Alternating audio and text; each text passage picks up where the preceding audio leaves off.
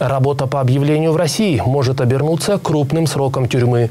В нашу редакцию обратился житель Тимиртау, сын которого уехал на заработки в Челябинск, а оказался в СИЗО города Бакан. Как получилось, что молодой человек подозревается в распространении наркотиков? Почему все больше казахстанцев попадает в подобные истории? И о чем хочет предупредить сограждан отец пострадавшего в сюжете Людмилы Батюшкиной. И вот расценки.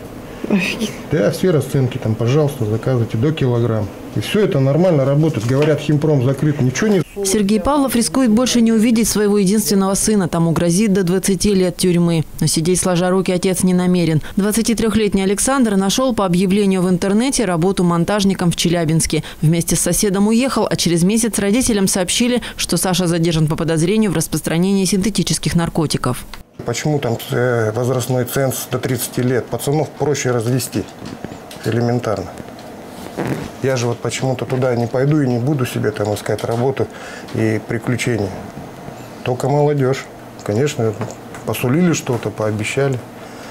Это просто так нет, потому что я потом посмотрел уже, э, уже там, сколько им обещают, там до 300 тысяч рублей зарплата. Угу. Ну, естественно, пацаны 22 года, скорее всего, может, на это и повелись.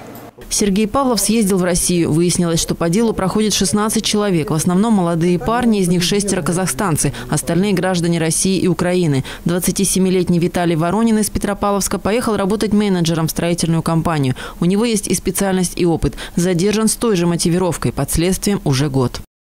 В 9-8 вечера он туда приехал, а уже на следующий день в 11 утра его уже забрали по подозрению в наркотиках. То есть парень э, при параде с двумя сумками поехал работать, а теперь звоню по этому номеру, куда Виталий звонил. Они мне говорят, следователи объясняют, что это подставной сайт, там такое заверченное колесо. Ты если кому-то сказал слово «нет», все, тебя через 2-3 часа забирают. Там столько случаев. Это, это, это шок. Там матери, отцы рыдают во все голоса. И Россия молчит. По словам родителей, их дети не пили и не курили, имеют образование, так что продавать наркотики не стали бы.